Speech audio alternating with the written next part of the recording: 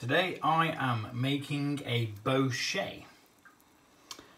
So I've had some lemon in the freezer which I did want to use for something else but uh, I was unable to use it for one reason or another. So it's going in this bochet. First bochet I've ever done.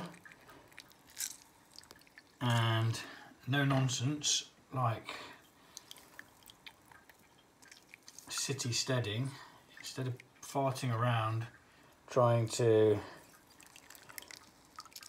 get all the rind and stuff like that. I'm going to squeeze the juice in. And I'm going to chop up the rest and just bosh it all in. It Doesn't need to be sterilised because we're going to be boiling it, which will kill any bacteria and so on. And now in with an orange. Look at the colour of that. It's actually a mandarin, which I didn't expect. It's got some really nice colour in there. So that juice is going in there and we're going to do the same. We're going to cut it up and let it boil in for about five minutes, I think it is. I need to check on that. Get all that juice in there, which is going to add nice flavour. And with a bochet, what we do is we cook the honey. We actually caramelise it. I'm going to do it for 30 minutes and hopefully that'll give it enough flavour to make it nice and caramelised. We have juiced them and sliced them up now they're in smaller bits and we are going to put that into there and let that boil for about I don't know maybe five minutes and then let it cool down cool down to room temperature. And um, we'll use this as our start. I'm going to chop up some raisins put some raisins in there as well which gives it a nice tannings and uh, mouthfeel. And I'm just going to chop these ever so slightly. That's my alarm to tell me that the uh, things are finished sterilising. So I'm just going to chop these up a little bit just to get them broken. And these are going to go in with that and will all be drained off. Normally you leave these sat in the bottom of your drink, but because it's going to be a bochet, the most of the flavour is going to be coming from the caramelised honey. So these aren't really going to add a great deal apart from maybe tannings. Maybe a little bit of flavour.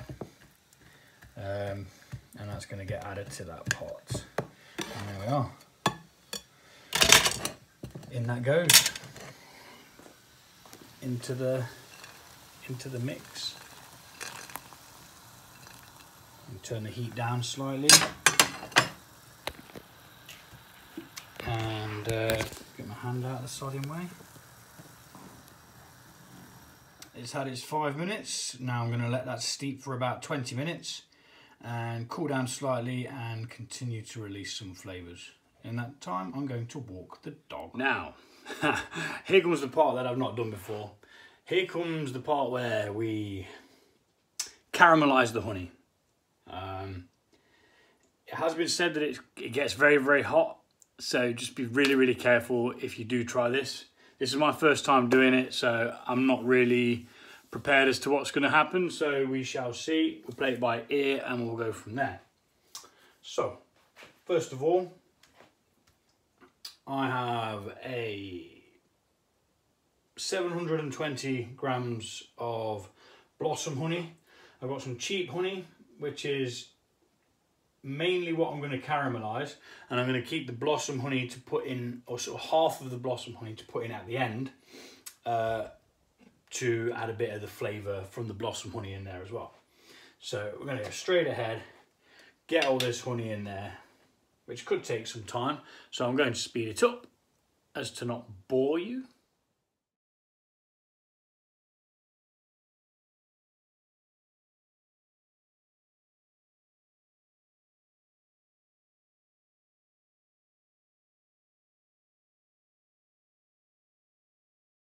Right, so the honey is in there.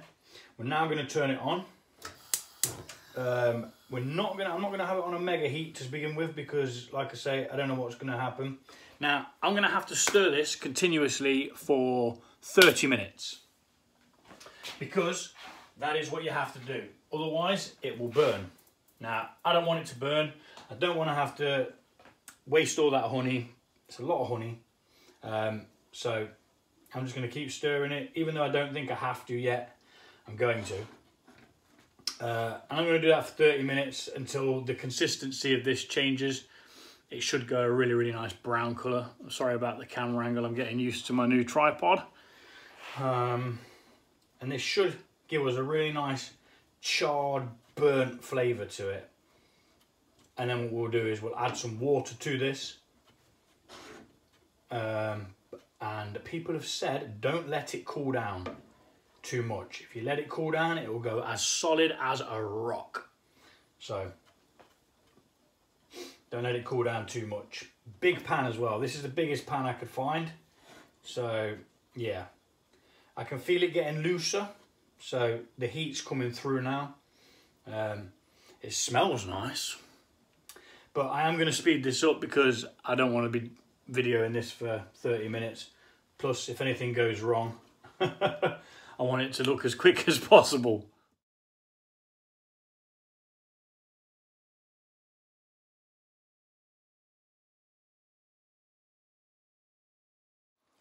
Took a while for it to get to the boil, but now it's bubbling over.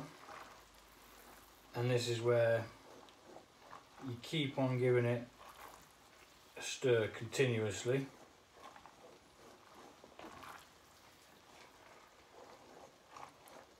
So that it doesn't burn onto the pan because you don't want to waste your honey, honey.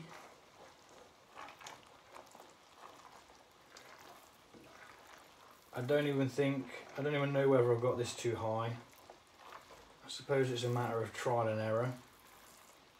If I burn it this time, next time, don't bloody burn it. think we're doing well. Might reduce it a bit.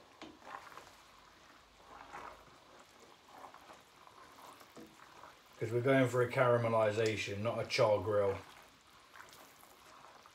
I mean, I think it's changing colour. It looks darker than it did originally.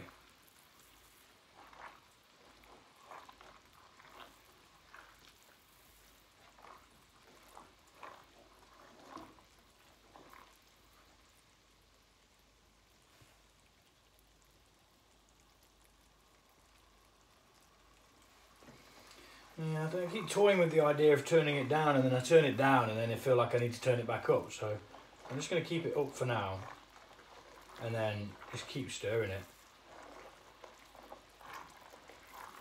Back and forth, making every bit of the bottom of the pan make contact with the spoon.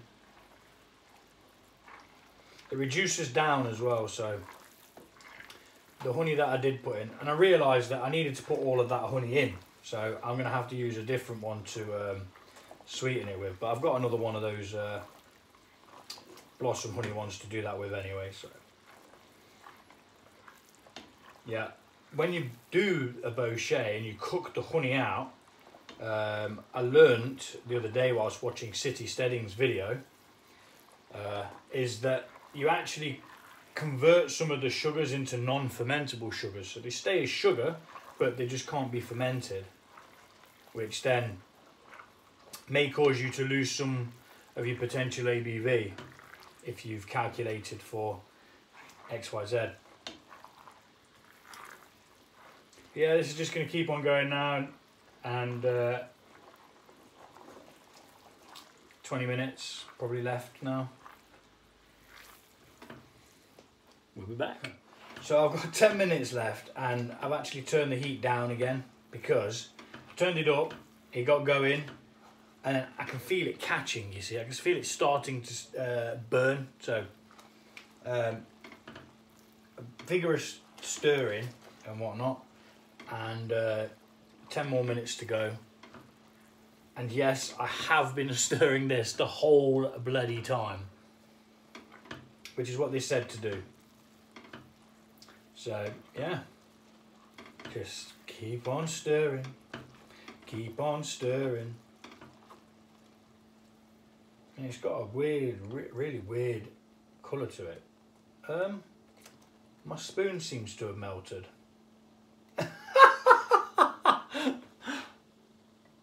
What the fudge? That's not good, man. That is not good at all. Um, shit. Um, um, what the fucking hell do I do now? Um, shit, shit, shit. Dilemma. I really don't want to use a metal spoon. I'm gonna fucking burn myself. Not a choice. you saw it here first. Hot honey is hot. Bloody hell.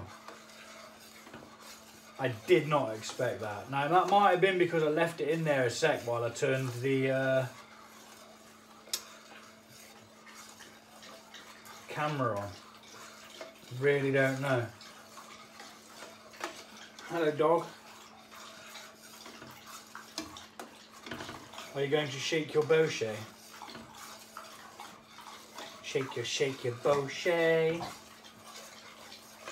Yeah, I recommend going and watching uh, City Steading's Bourbon Bochet. I'm going to buy some oak nibs and stuff for this. Uh, can't get the exact ones that they seem to use, but um, I think American oak is going to be the best. And I'm just going to oak it. I'm not going to bourbon it because the bourbon blocks, they're like 40 odd pounds. And I'm not paying that for a possible one-off brew depending on how it turns out. Um, can't believe I've burnt me, melted it. I just hope that there's none of it in here. Because that really wouldn't be good.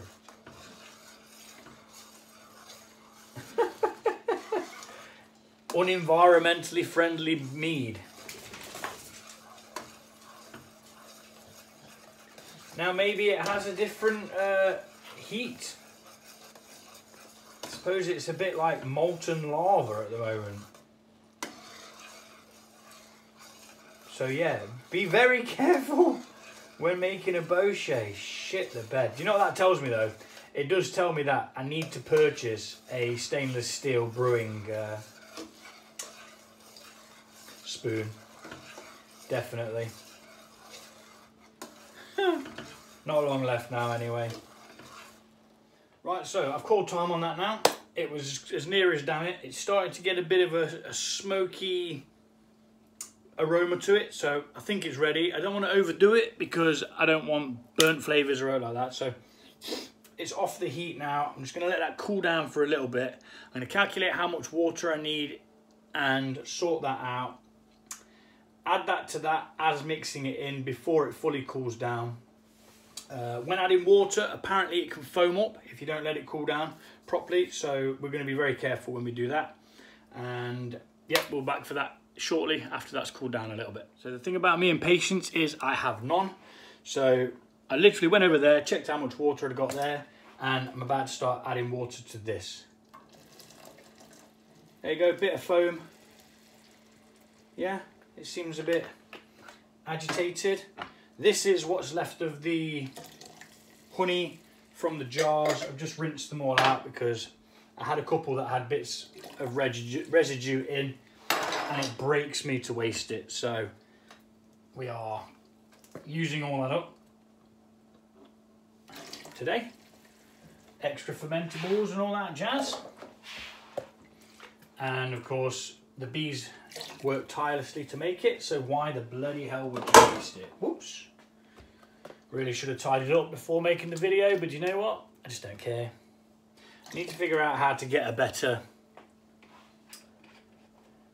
angle from over here when showing doing this. Normally I have to just hold the camera, um, which isn't really a problem. So, let's quickly wash my hands in the sanitizing liquid and get my towel. And now we're going to add, I've got a litre over there. I assume that's about another litre there. So I need, dun, dun, dun, some sort of measuring thing. There we go. This will do. It's got measurements on it. It will tell me what 500 mil. So we'll do a couple of 500 mils in there. And then we'll see where we're at. Should probably be stirring that in whilst doing it. Let's get to an added litre. Stir that in with my metal spoon because my plastic one melted. And I can feel this starting to clump up already. Yeah, weird. Trying to solidify, but we're not gonna let it. Oh, hell no!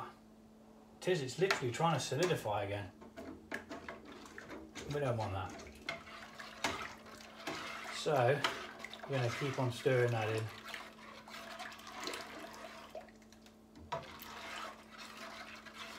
Like so. I mean, that's still really hot, so it should just melt back down into this water, which is nice. Um, and then we're going to go over there, we're going to add it to the orange, lemon, and raisin tea starter that we made.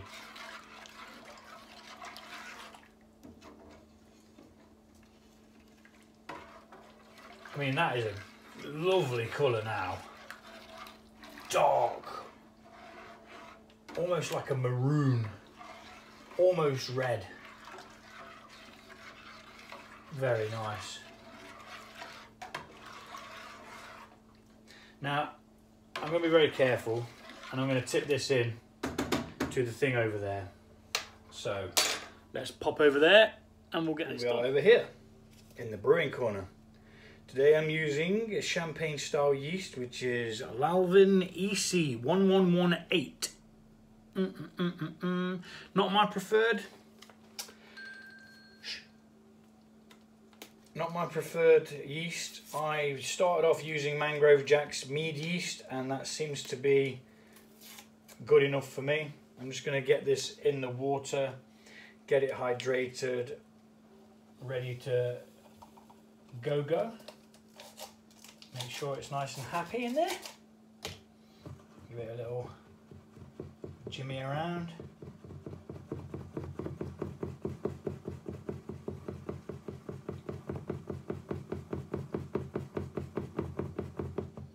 Like so.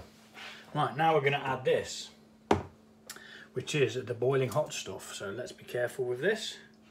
We do not want to get ourselves covered in this stuff. Oh, and that has all dissolved really nicely. It's got a bit of residue in there, but I'm gonna go and fill it, this up to add a bit of cold water to it so that we can maybe get the last couple of bits of residue out of there. Because let's face it, we want it.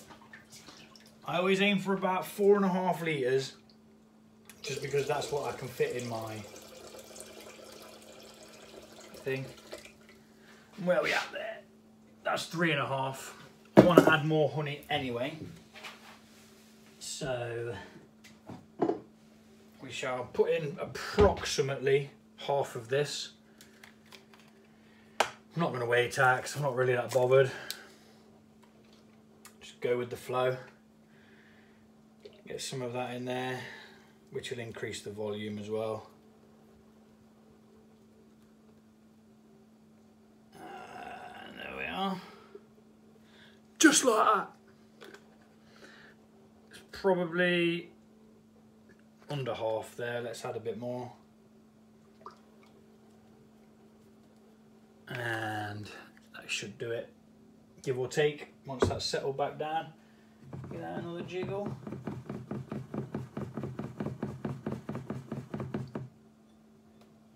Okay. I need a spoon. Um, I'm going to be using the bottom of this spoon.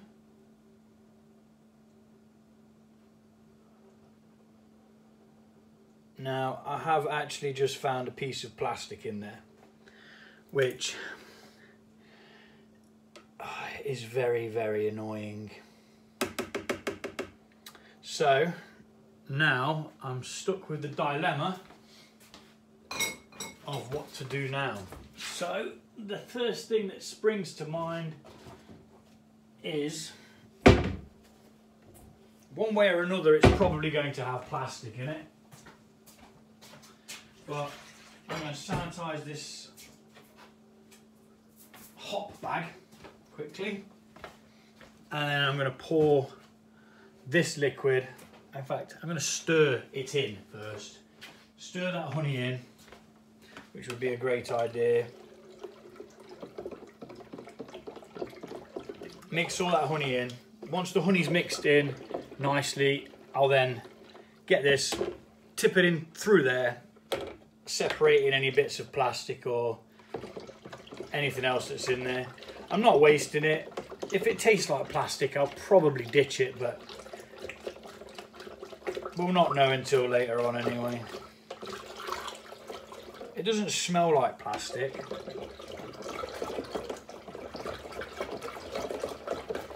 But it's not what you want, is it?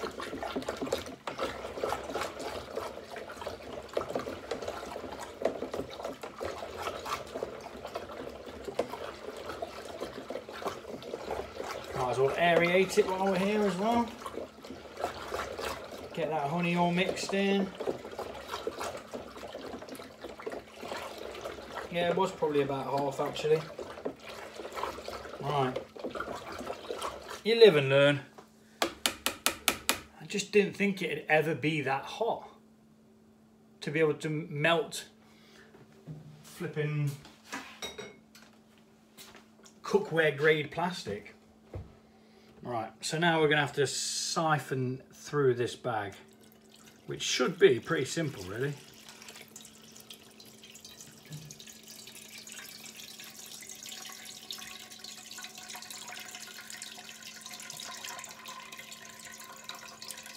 It's actually a hop bag.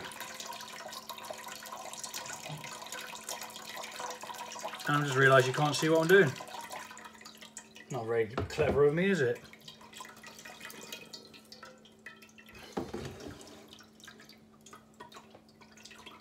So it's going through this hop bag. It's got super fine, super fine holes on it. And we're just going to get that going like that.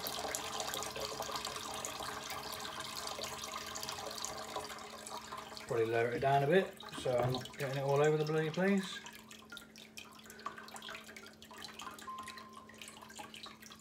And if I'd have thought about it better, I'd have probably used a more open kind of thing because now I've just got a big tea bag in my hand and I'm going to be stood here waiting for it to drip through. So, woo, live and learn.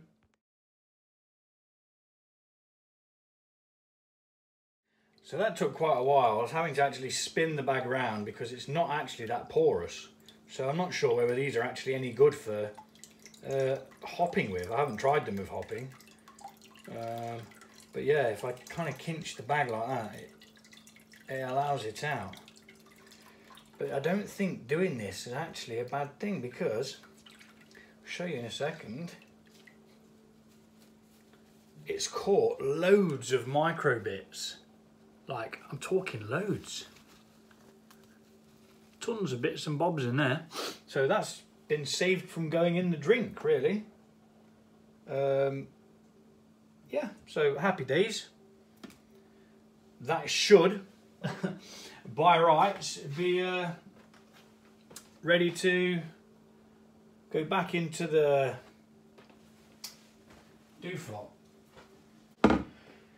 Add some more water. Each time this is aerating it anyway, so it's not a major downside to it. It's still quite warm, so we do need some more cold water. Definitely too warm to pitch the yeast yet. But we still have room for more cold water, probably about three quarters of a litre.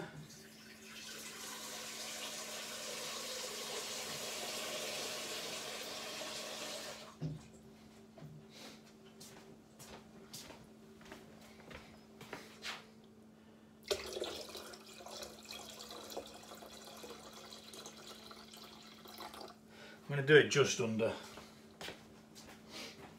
And we'll see what room we've got left after it's in the in the demijohn or carboy as some people call it in America. Americans seem to call it carboy. Don't know what that is, but sounds cool, doesn't it? Carboy. Yeah man, got my carboy. Right then, let's take a hydrometer. Test a Rooney. See where we're at with that. Because that's the be all and end all. And if it's not going to be a high one, you could probably add a little bit more right here, right now. And what I'm going to do is I'm going to add some nutrients right here, right now. One level teaspoon per gallon. One teaspoon. Level-ish. And in it goes. Some nutrients to help the yeast on their way. We're going to mix that back in. It's all about the mixing of stuff. Mixing, mixing, mixing.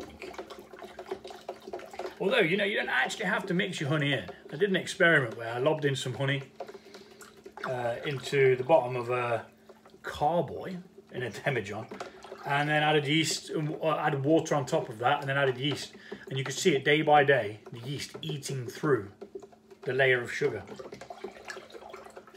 There is a video on it somewhere, if you have a look. It's called uh, Maybe Mediocre Experiment. Right, that's the nutrients in there. And I think I have a little taste of this because I can. I'm currently not drinking for uh, a a yeah a a charity sponsored thing. Um, so luckily there's no alcohol in this yet, so I can actually taste and maybe have a guess at what it might taste like once fermented. Because that alcohol fermentation actually gives a bit of the flavour to the drink itself. I mean, if you think about vodka, vodka hasn't really got much of a flavour. It tastes like vodka, obviously, but the main flavour from it is uh, is just the alcohol itself. So, hydrometer test.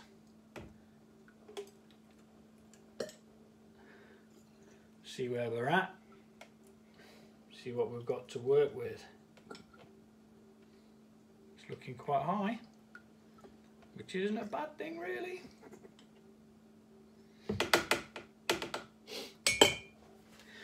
Oh, hydrometer.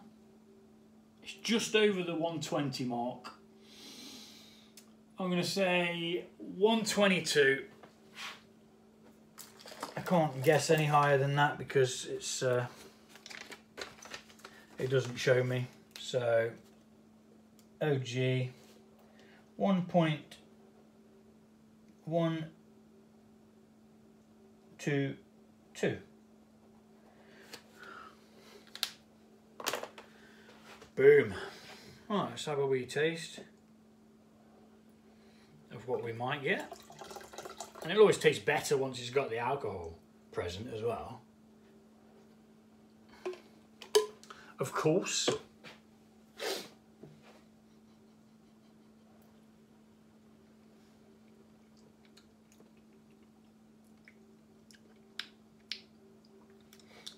quite pleasant.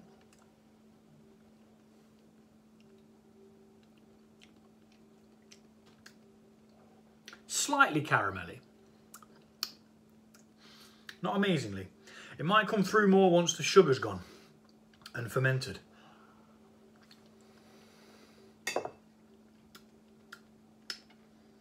Hmm, not bad. So, for my next trick, Oh, nuts. I just hope that that doesn't take that over the 130, uh, um, four and a half. Because that won't be good, it means that we'll lose some product. I won't be able to put it all in. I need a funnel. Funnel, funnel, funnel, funnel, funnel. Where is my funnel? there is my funnel.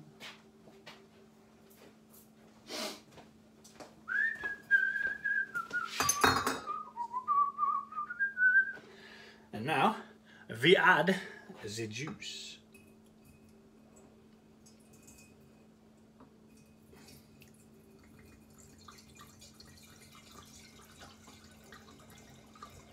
We're going to check the temperature of this. Make sure that it's below 20 degrees Celsius. I'm not sure what that is in Fahrenheit if you are from across the pond.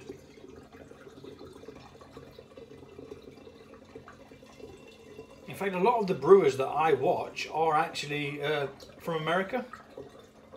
Um, so I have to do a lot of the conversion myself. So when they give you an idea of a recipe, you have to kind of think it up yourself and figure it out.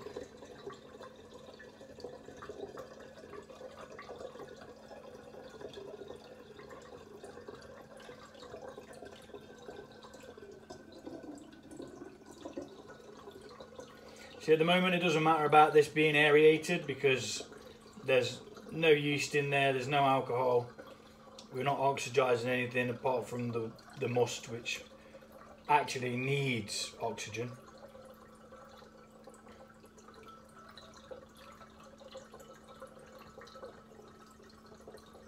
Right, I have a plan now. I'm going to add that to that just to make sure that I do have enough. I'm going to swizzle this back out into there and then back into there. Just because I want all of that yeasty goodness, give them a fair, a fair shot at life to create the colony, get in there, get all that sugar fermented. Go on, my pretties!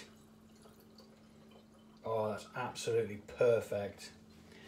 Just where I like it. Just as the bend starts to go. well, at least something went right. We're going to mix that now. We're going to mix it in with my burnt spoon. Melted. Can't believe that. That's terrible, isn't it? Uh, and we won't know whether there's a, a horrible off flavour because of that either. Looks like I might end up drinking this one myself. But we shall see.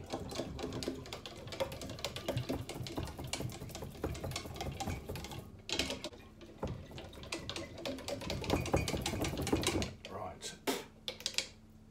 That's that mixed up anyway. I'm going to get the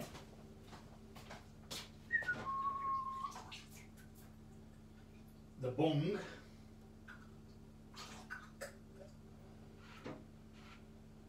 the bungaroony and we're going to just give it a quick jig.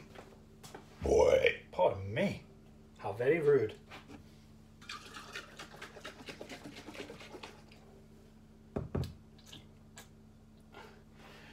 And that's why you should have a bit of paper towel around. Nope, can't find the paper towel, so just have to make do with a bit splurting out.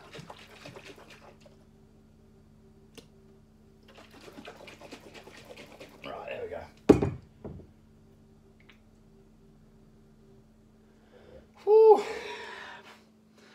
Got all that jamming in there now, it's lovely jubbly. So, melted my spoon, possibly destroyed the bochet with plastic, and now I've got ahead of myself and added the yeast before checking the temperature. Why I did that, I have absolutely no idea. Oh, the excitement of getting a brew on. What I'm going to do is I'm going to fill the sink up with some water and I'm going to leave it in some cold water. Hopefully it will be okay. If not, I'm going to have to add more yeast at a later date.